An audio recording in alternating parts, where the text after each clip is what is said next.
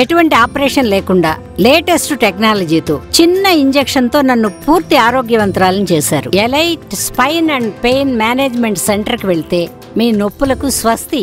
Srinivas sir.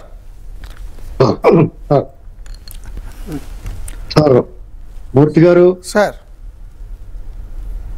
మీకు గఫూర్ గారికి దీపక్ రెడ్డి గారికి టీవీ ఫైవ్ వీక్షకులందరికీ నమస్కారం అండి. ఇప్పుడున్న ఈ దౌర్భాగ్య పరిస్థితులకి ఈ దుర్మార్గపు ఈ కార్యక్రమాలు ఈ అరాచకాలకి కారణం ఏంటంటే అండి నా ప్రగాఢ విశ్వాసం ఏంటంటే వామపక్ష భావజాలం బలహీనపడటమే ఎందుకంటే వాళ్ళు వామపక్షాలు ప్రధాన స్రవంతిలో ఉన్నంతకాలం చాలా అగ్రెసివ్గా రాజకీయాలు కనిపించిన లాండ్ ఆర్డర్ మెయింటైన్ అయ్యేదండి. ఎందుకంటే వాళ్ళకి భయపడేవారు రాజకీయ నాయకుడు. ఇప్పుడు ఇక్కడ రెండు రకాలుగా చూడాలి. ఒకటి జగన్మోహన్ రెడ్డి గారి ప్రభుత్వం వ్యవస్థలను నిర్వీర్యం చేసిన తీరు ఈ పోలీస్ యంత్రాంగాన్ని తన సొంత ప్రైవేట్ సైన్యంగా మార్చుకుని అరాచకాలు తెగబడటం అత్యంత క్రూరంగా వ్యవహరించి ఇది చాలా దురదృష్టకరమని డిప్లొమాటిక్ భాషలో మాట్లాడుతున్నాం కానండి.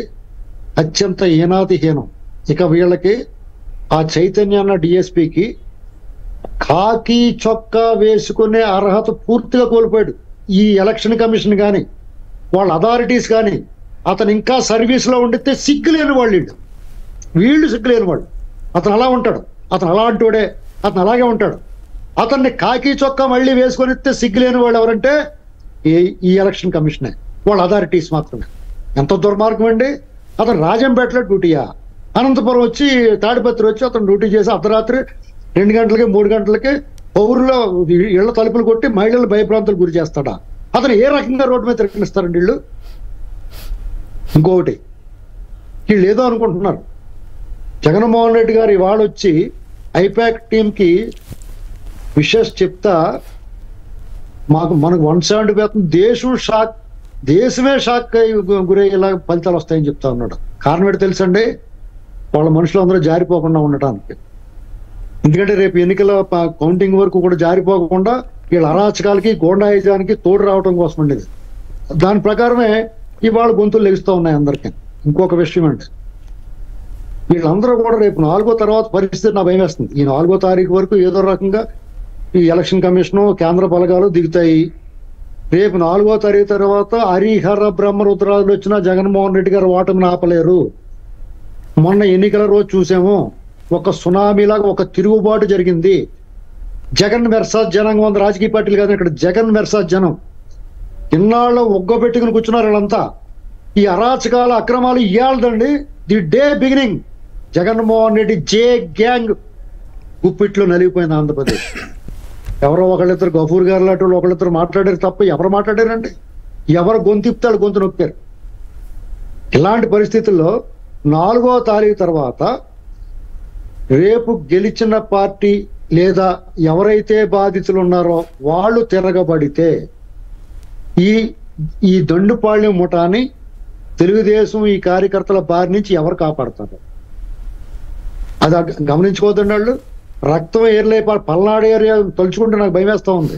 ఏం జరుగుద్దో ఏం జరగదు అలాంటి కక్షాదింపులు ఉండకూడదనే కదా ఇంకో పదిహేను రోజులు కూడా కేంద్ర సాయుధ బలగాల ఉంచమని చెప్పింది.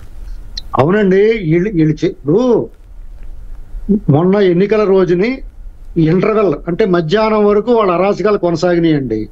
మధ్యాహ్నం పైన తిరుగుబాటు జరిగింది కదా తరివి తరివి కొట్టారు కదా చూసాం కదా మన కళ్ళారా? ఇది ఎంత సహనంగా ఉన్నా వాళ్ళు పేటరేగిపోయి మీద పడతా ఉంటే ఎన్నాళ్ళు సాగిస్తారండి ఎవరన్నా ఇదోటి అసలు దీని అంతటికి కారణం ఏంటంటే మూర్తి గారు ఇది మనం చాలా సీరియస్గా చర్చించాల్సింది ఇదే. ఎందుకంటే ఈ సమాజంలో కొంతమంది విశ్రాంత అధికారులు పాత్రికేయులుగాను పాత్రికేయులు గాను సీనియర్ పాత్రికేయులుగాను మాజీ జడ్జిలుగాను కుల సంఘాల ప్రతినిధులుగాను ఈ సమాజాన్ని ప్రభావితం చేసే ఓ అధ్యాపకులు ఇంత ఈ సమాజాన్ని మెదడుని పొళ్ళబెట్టేస్తా ఉన్నారండి. యాంటీ సోషల్ ఎలిమెంట్స్గా మారారండి. ఎందుకంటే సమాజంలో అల్లర్లు సృష్టించి గొడవలు సృష్టించి సమాజాన్ని విచ్ఛిన్నం చేసే వాళ్ళే social element anti social elements కాదండి.